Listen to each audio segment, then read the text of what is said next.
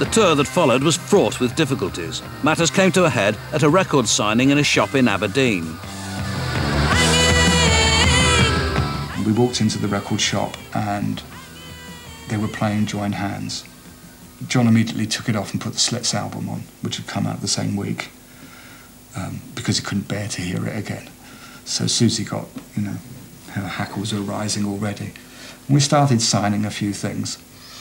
And then Polydor basically made the mistake of not actually giving, supplying the shop with enough records. So Nils had a box of promo albums in, in the back of the van. And they were stamped with gold, not for resale. So I presumed that we were just going to hand a few out on the way around the tour, not all in the record shop, but just on the way around the tour, hand a couple of hours promotional copies, um, which may have been naive, but that's what I thought. And as soon as John McKay saw that it was being sold, he went ballistic without finding out, and he started giving them away. And I think that's when Siouxsie clocked him. I stood there for a second and then looked at Kenny. Kenny looked at me, and we just walked straight out. Uh, we actually walked down the road to a coffee shop and sat down there and tried to calm down.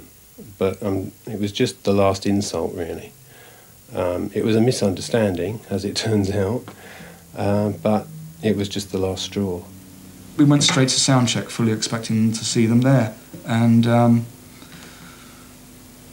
you know they they didn't show, and they didn't show again.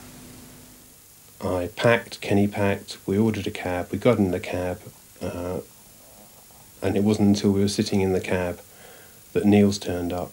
Saying, I've invested £45,000 in this tour. It could have been pointed out, even even then, it was a crazy thing to do. Anyway, he had me, his hand on my on my neck. But by the time Nils was, was hanging through the taxi window saying, You'll never work again, uh, that was the last of our worries, really.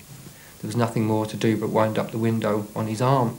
I was only too pleased to see him in some agony.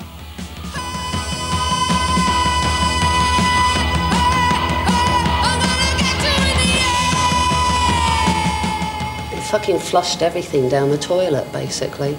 And I, I, just thought it's such a shitty thing to do to anyone, let alone somebody you'd practically live with for two years.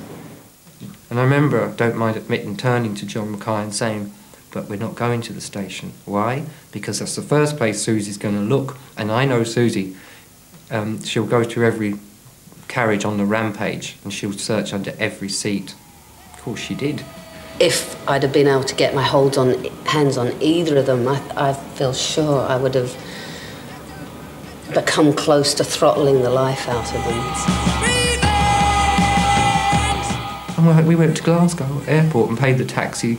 They actually let the steps down of the little plane because it was going and let us get over the thing and everything, jump on this little plane. And it wouldn't go as, wasn't going as far as um, London, so got a lift on a coach we were the only two people on the coach, and the driver was crazy. He drove, it must have been 120 miles an hour in the night, in the rain, and it was just like something in a dream. Went and stayed at John's uncle's um, house for one night, and then we um, went off to friend's cottage in Somerset, in the middle of nowhere. And lucky we did, because we opened the papers the following day, and Banshee split, and Siouxsie quoted as sort of saying, if you have one ounce of the hatred or something that we have for, for those arty ones, um, you, you uh, can kill them in my name.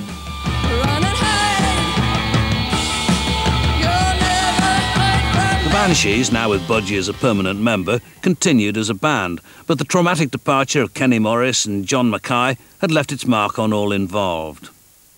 It left us completely bereft of uh, record company, group, management, everything uh, they kind of convinced themselves for a little while that um, we'd planned it, but it just doesn't make sense. As soon as we got off the road, I was just in bed for about a month. Anyway, I did a lot of writing, and one of the songs was called Drop Dead, which was to a certain duo. I thought it'd be great if there was a singing telegram with, you know, some dead roses that turned up at, at somebody's doorstep completely loathed. So I I invented a kind of a singing telegram to wish somebody ill.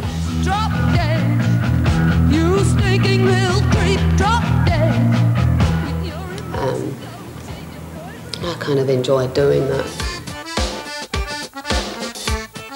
In the Banshees, the core trio of Siouxsie, Budgie, and Severin, with the addition of John Carruthers and later Martin McCarrick and Jon Klein, recorded in the second half of the 80s some of their most successful LPs.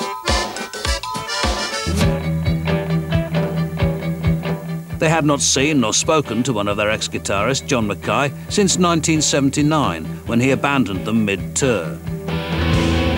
Then, 10 years later, on his honeymoon in a small hotel in the Lake District, his past caught up with him.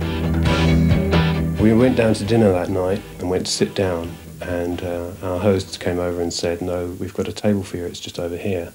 And we looked down to the other end of the room, and there, sitting in the bay window, was Siouxsie and Budgie. Oh, so we end up being like the like some four of maybe eight residents in this hotel isolated in the middle of the Lake District, and we're sitting there.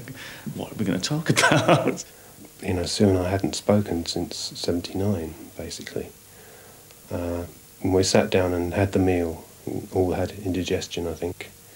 Linda got a bottle of vodka from the room and got us talking. And by the end of the evening, we kind of patched things up. I, I don't know if we'd actually covered everything, but we understood one another a bit more.